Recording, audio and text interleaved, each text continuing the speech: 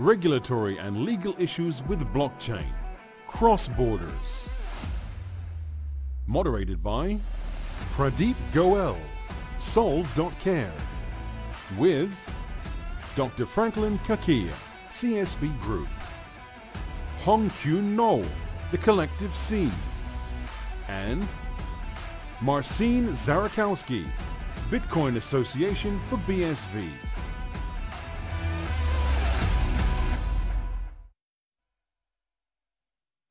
Good morning, everyone.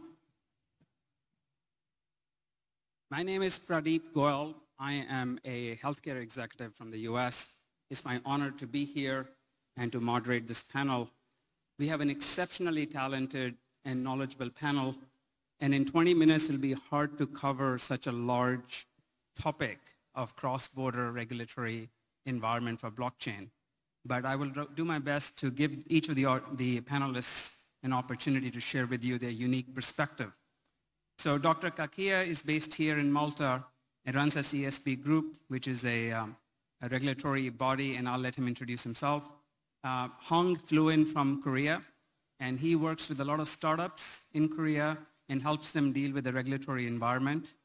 Marcin Zarakowski is flown in from Zurich, and he is part of the BSV, uh, the, um, the Blockchain Association for BSV. And then, of course, Dr. Christi uh, Christina Scicluna. Uh, she works for the Ganado Group, which is another um, advocacy group based here in Malta and deals with a variety of regulatory issues. So let's get started. So maybe we'll start with uh, Christina. Christina, you are involved in a lot of regulatory activity and you serve as an agent for a variety of companies looking to locate themselves in Malta. What are you seeing? Who, is, who needs to be regulated? Who are we regulating and to what outcome? Okay, th thanks for the introduction and uh, good to be here with everyone. So it's interesting when we look at um, blockchain regulation, we need to be very careful on how and why we regulate, right? We need to respect the fact that we're dealing with technology which um, in itself is meant to be decentralized and autonomous. But then again, we also need to be very wary of um, or the investors and the stakeholders which we do need to protect. So uh, we need to create a fair balance of ensuring that the technology um, is left to flourish and do what it needs to be doing, but at the same time we need to provide redress in situations where something does go wrong. And we have seen and we are seeing issues with um, software development going wrong and then you've got issues of um, economic loss. So how do you provide a redress for that? And one of the things which, um, which is being proposed and which is being looked into is um, granting legal personality to certain types of technologies so that when you have an issue that um, there's a liability issue or a rights which are being um, you know, not respected, then the consumers and the stakeholders have a proper redress on what they need to be doing and what procedures they need to follow. So going back to your question, we have seen um, many startups, many entities come to Malta because they do want to be regulated because it does provide certain assurances and certain protection, right, to consumers and to investors. If you've got an investor who is investing in a startup which is regulated, then you've got better assurances and um, likely to flourish in a better way. So um, uh, that is one of the areas which we are looking into, granting legal personality to these smart contracts and to, te to technology so that if something does go wrong, you've got that consumer protection element there. So follow-on question, I am a blockchain innovator. I want to come to Malta. Is it any value here for me to bring my organization here? Yes, again, I mean, naturally, you need to understand whether you want to be regulated in the sense that do you want to have technology which is being audited by a certain authority? And if that's the case, then Malta is a place to be because we can provide guarantees and we can provide assurances to um, individuals who are investing in your, in your organization. And that in itself has a lot of value to it, right? So, yeah. Great. Thank you. Marcin, I'll come to you. You work with data security and privacy, and we all have heard of GDPR is a very important regulation and you work with that. So I'm a blockchain, I am worldwide.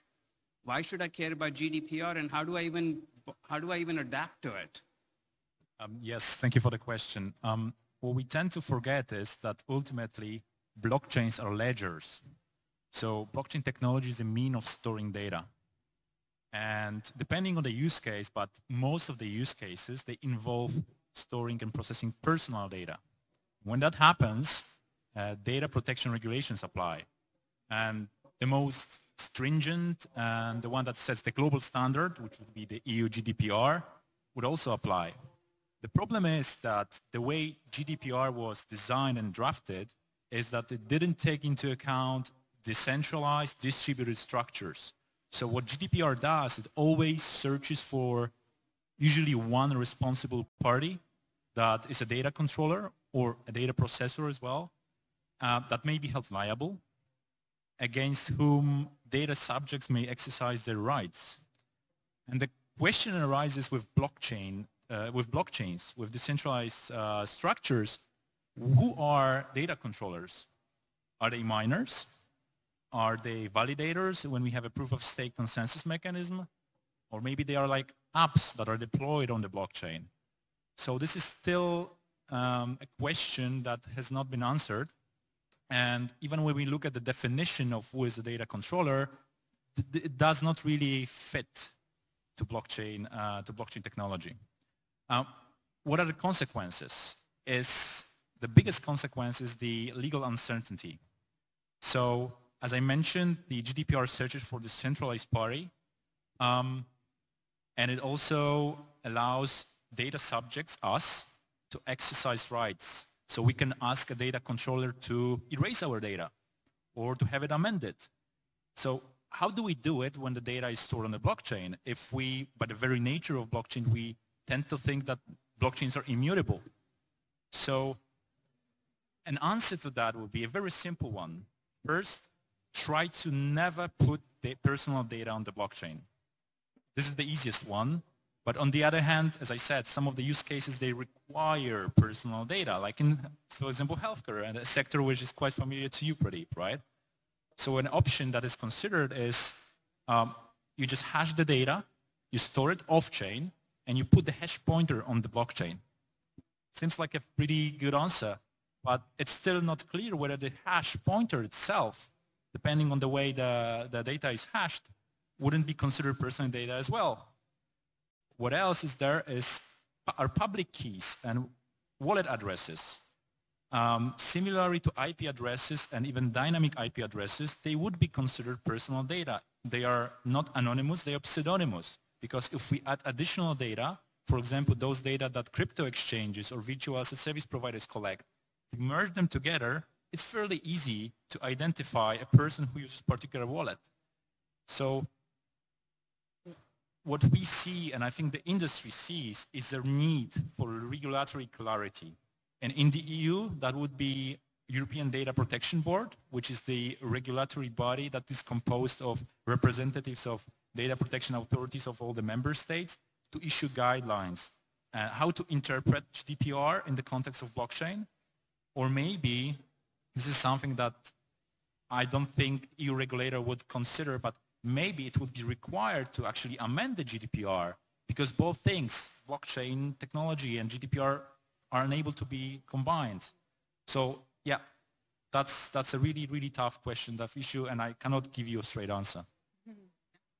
We'll come back to that. The, I think the underlying question is innovation doesn't wait for regulation, and regulation has to catch up. The question is how much risk should the innovator take mm. before regulation becomes clearer? Because ultimately, in every part of the world, innovation is going to drive regulation, not the other way around. But in Asia, that seems to be the opposite. You know, Hong, your experience in working with startups in Asia seems to be that you have to wait for regulation before you can really innovate. So can you share your thoughts on that?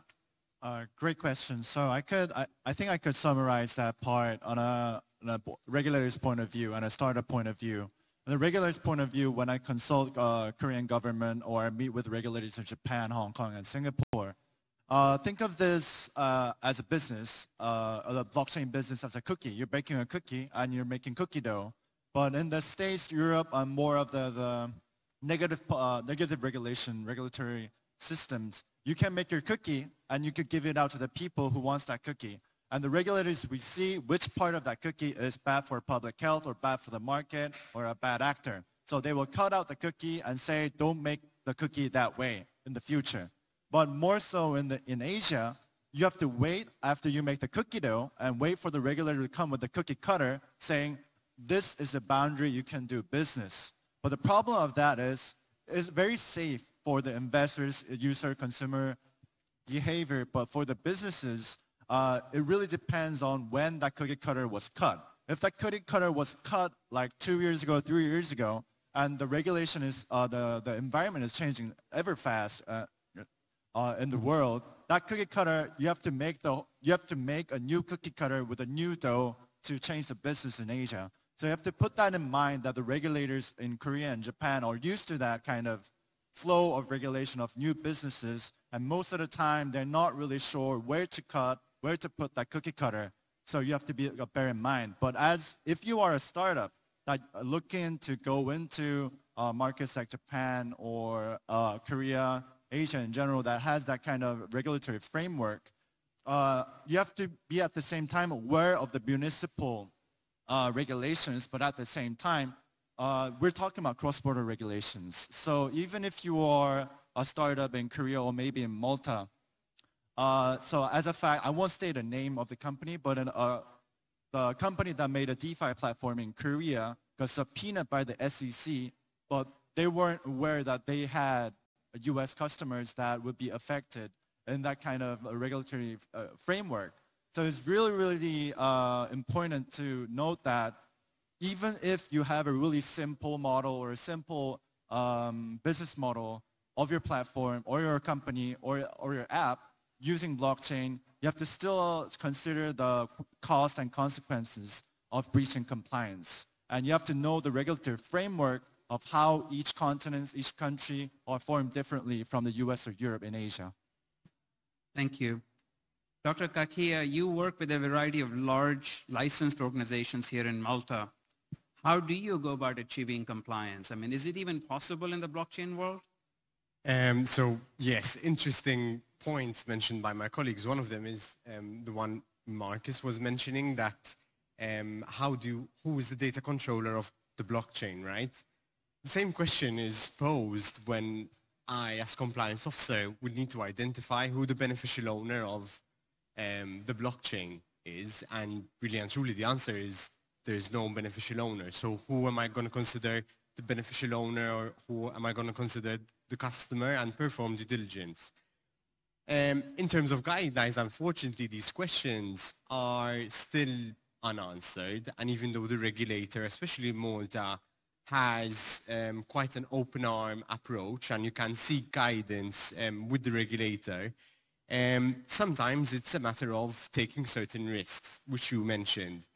And um, taking risks is fine, um, provided within your risk appetite, but then you have to make sure that, it's, that you have a risk management process, that you are um, assessing the risks being faced, and you are um, programming a risk mitigating um, procedure to mitigate that risk. Um, in terms, from my experience as compliance officer, um, I think what I gathered is that regulation is good. However, the implementation of that regulation can become very difficult. And sometimes there wouldn't be enough guidelines or else the regulation and the guidelines are very vague.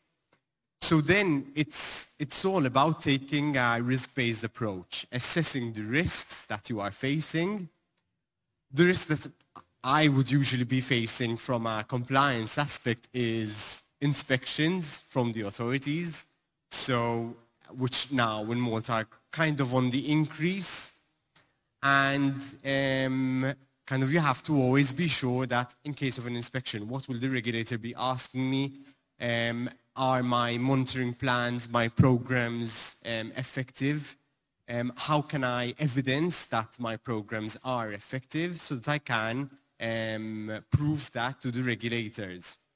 Um, it's not just, the question is not just whether regulation is good on our can towards the business, but it's also the implementation by the regulators the regulators should have more dialogue with the service providers on how the regulation is being implemented, how it can be improved and maintained to guarantee a fair environment for all stakeholders, not just the regulators, but all parties, meaning the service providers, the consumers, and guarantee that level of protection, not just for the consumers, but also for the service providers as well. We're down to the last three and a half minutes. I'm going to ask each of the panelists to try to answer this question. So blockchain's core originating principle was to make the world a better place, to, to innovate, to bring democracy, equity, justice, access, whatever the mission um, statement you want to adopt. It's all about transparency and access and break down the borders. Now, what advice do you have to blockchain innovators in the audience you know, how should they think about regulation? What is the role of regulation in their desire to innovate and change the world? Starting with you, Christina. Uh, interesting question. I don't think that um, blockchain innovators should look at regulation as being the enemy, right? Regulation is there to help and to protect investors. If your investors are um, confident in investing in your business, then they will be more willing to invest in you. So um, I think from a startup perspective, although I, from a personal perspective, I, I have seen that startups do tend to shy away from regulation. I believe that it's there to assist and to help grow that startup entity.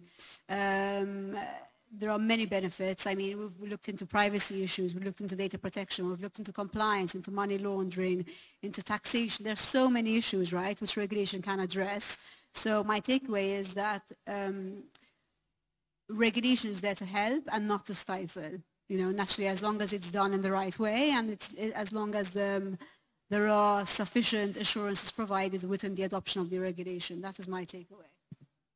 Martin?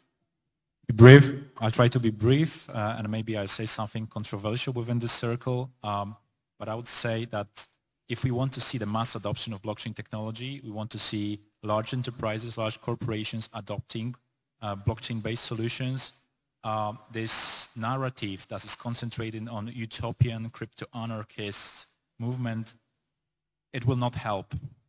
So my advice to innovators would be try not to avoid the regulation.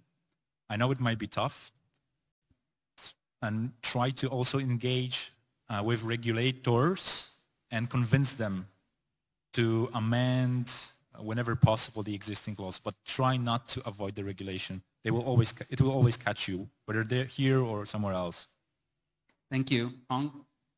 Yes, uh, another point of view from that I could represent uh, Asia in general is that the regulation has to exist to, for your business to exist, and these are kind of regulatory frameworks.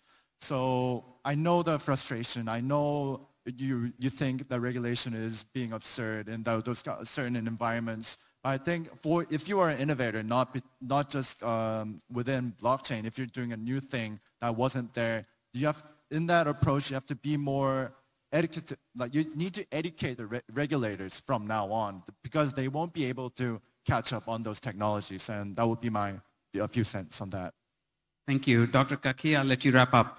15 seconds. Um, so basically, I think whether or not there is regulation, I think um, enterprises should carry out a business risk assessment, um, create a compliance monitoring um, framework, because that will guarantee um, kind of protection not just um, to the stakeholders, but also to the consumers alike.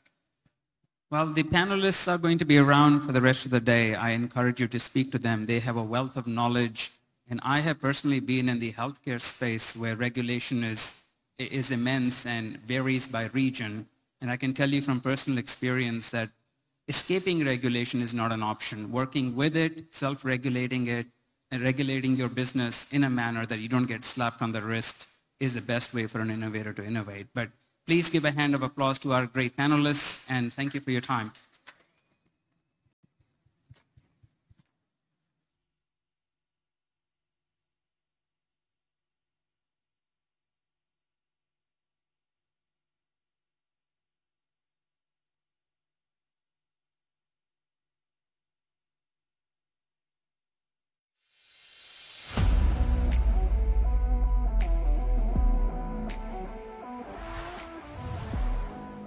Legal compliance with identification regulations. Moderated by Dieter Brockmeyer, Diplomatic World Institute. with Adrian Doerk, main incubator Lissi Identity, Pradeep Goel, Solve.care, Frederick Lai, Jumio, and Peter Murray, Veriff. Thank you for the warm welcome. We are running short of one person, but that makes it a little bit easier because we also have not too much time. Uh, we are not talking about a new token, a new coin, or a new service.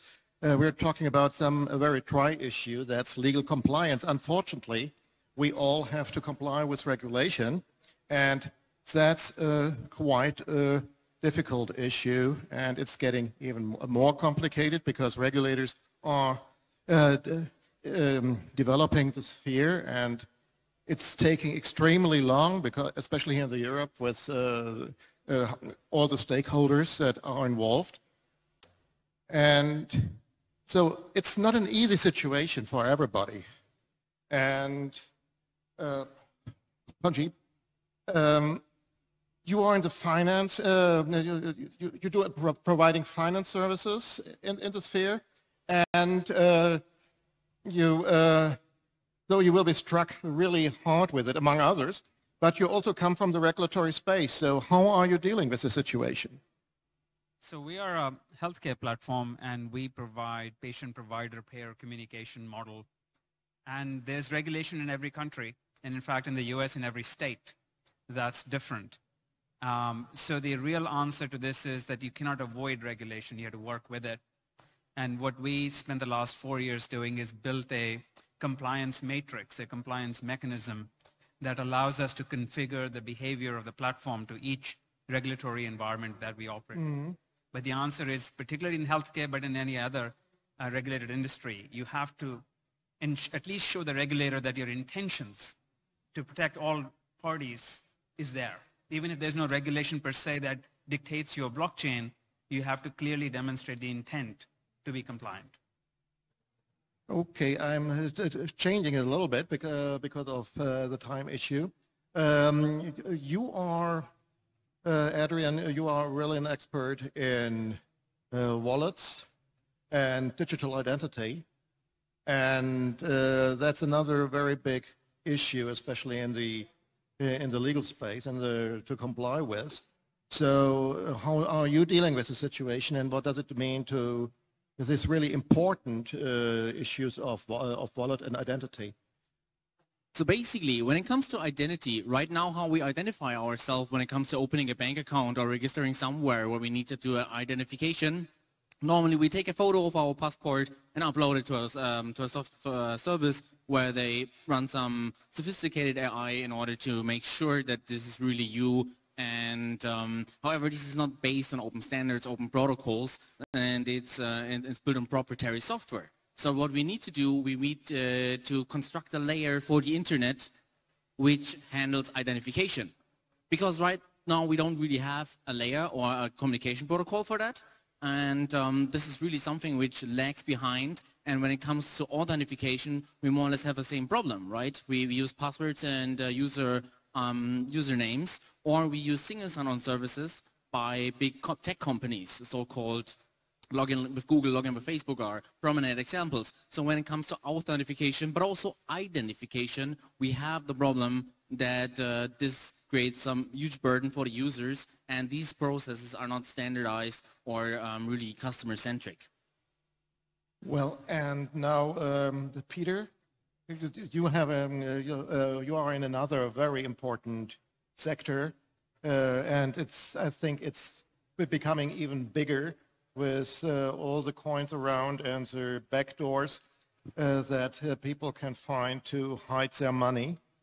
So, um, so we were talking about anti-money laundering, AML, and know your customer.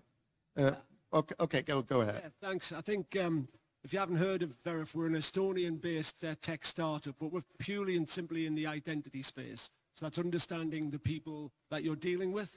And it tends to be referenced in anti-money laundering and KYC, but identity generally is at the heart of everything we do in our lives, whether it's the healthcare sector or the gambling sector, which is what I, I tend to deal with. So, and we, we definitely think, I think, it's interesting the difference between crypto and, and blockchain in this building and the gambling sector in the next one. It's much more tech savvy in this industry. And so the services like we provide, and, and the same with Adrian, is, is about that next level, a next level of understanding your customer, because that's that the, the ability to do that safely uh, and compliantly uh, is key to the, the trust we all need to build. And I think that's probably the key word around that because the regulators, I, I agree with Pradeep, the regulators are the ones that I don't expect them to know everything we do. It's our job to work together uh, and get them to understand it and embrace it. But certainly from a, a Veriff perspective, um, where we sit is firmly and center in the sort of document, facial, uh, biometric part. And I think that's the futures because that's what the customers want. The next generation of people in, in the gambling sector, customers are not going to look like me. So it's, it's about how we bring that technology in a safe and secure way to the market and that regulators understand it. Well, it, uh, ALM actually is quite an, well, not old, but older issue because money laundering is as old as uh, people bring their money to to safe harbors. And um, but uh, know your customer is, is, a new approach. So uh, how do you see the um, the thing evolve, evolving? Especially what will be the next steps? I think for us, I think the, the, the old style way of verifying an individual was time stamped and static. You would find me on a database once and that would be it. This has all moved on and this now has to be much more dynamic and in real time because my identity and who I am changes with what I do on a, a, a minute by minute basis. So it is around uh, having a much more dynamic approach to understanding that individual you're dealing with. And that, I think, plays into the, the anti-money laundering aspect of it. It's very much about having as much data as possible that's relevant to understanding what someone's doing. So I definitely think um, whilst people focus on the anti-money laundering aspect, this is much more about truly knowing who that person is and what they do. Well, Pradeep, one of our uh, problems is, or when we, when we start a new venture, is that in many cases we don't know where the uh, regulation is heading, and since the process are taking so long. Is there any way to get more security for, for a company, or is there any way to speed up these processes to uh, to create level playing fields or to make it more transparent and easier for everybody? Uh, so in healthcare, uh, and I think it's true in most industries, but I come from healthcare space, you have many identities. So you have the human identity, who you are, but then you have the clinical identity, what diseases and what conditions you have, what predisposition to disease you have. You have the benefit identity as to which insurance policy you might or might not have had. You have a citizen identity as to what public programs you might participate in. And you also have a family identity as to what kind of a support structure you have. Then you have a financial identity as to who's going to pay your bills. So you have all these different disparate views of a patient, and they're all in different systems. So I was an insurance executive, so I knew a lot about your benefit identity, but I don't want to know anything about your clinical identity. But I have to match them up all the time. And when I don't match them up, you and your family suffer you can get care or you can get benefits or the doctor doesn't get paid or you're denied care at the right time. So there is a real human implication when the identities in different systems don't talk to each other. And those cases we hear about in newspapers all the time. Somebody was denied care or somebody was given the wrong prescription or somebody was sent to the wrong doctor. These are all issues of mistaken identity at the foremost. So when you think about the blockchain world, when you think about equity, justice, access, improving the world, the thing that we have to manage is different blockchains, different solutions. You somehow have to make sure that there is an individual who can control their identity and their participation rights. So from our perspective, you, me, our kids, our parents should control their identity and then should publish the requisite component of the identity to the chain or the system or the wallet or the program that you're participating in. And to do that securely is a great opportunity and a great challenge of the blockchain community. Well, Adrian, are payments a solution uh, for digital identity? He just was talking about the importance of the digital identity. So uh, are we having a kind of a solution here? Uh, could, could you repeat the question, question please? No, the um, the payments and digital identity. We talked about that. Yeah, so well, first I want to um, come back to his point because identity is contextual, and that's a great point because right, um, when we take a look at it, um, then we're, we're all based on this foundational um, identity, um, how the Canadians call it, but uh, in the end it, uh, it highly depends on the relationship, the context of the interaction. So it's a great point. And um, when it comes to finances, then obviously there we have certain aspects as well where we have um, KYC regulations, AML regulations, and all that different um, regulations enforced by institutions which they need to control in order to make sure that their clients are um, yeah, conform of the regulation. And right now, for example, we have the eIDAS regulation, which is transformed or which is proposed in eIDAS 2.0 where they talk about uh, wallets a lot. So um, it's quite interesting to see where this kind of whole space is developing, not only in terms of um, payments, which were uh, traditionally quite um, wallet focused, especially with the crypto ecosystem, but rather now we take identity um, and put it into the wallet again uh, as well. So basically we have the wallet um, on a, on a, as a user centricity tool which manages not only the finance aspects of it, not only the um, all the, the payment stuff, and um, maybe also some other crypto ecosystem um, interactions, but also identification and authentication. And once we have that all together in a tool, uh, in a wallet, which we basically give to the user as a tool, then this is really powerful and something which the user can control. And that's something which, which we need to build as a society. Okay, since we are really running short now, I'm also going to change my closing question, and I'm just asking quick round, one, uh, one word or sentence. Uh, the regulation, friend or foe? The what? Friend or foe? It depends. Uh, our regulation is necessary. Very short. It can be a friend, but it's most uh, most of the time it's not necessarily. Okay, Peter. Sorry, what was the question? Is regulation necessary?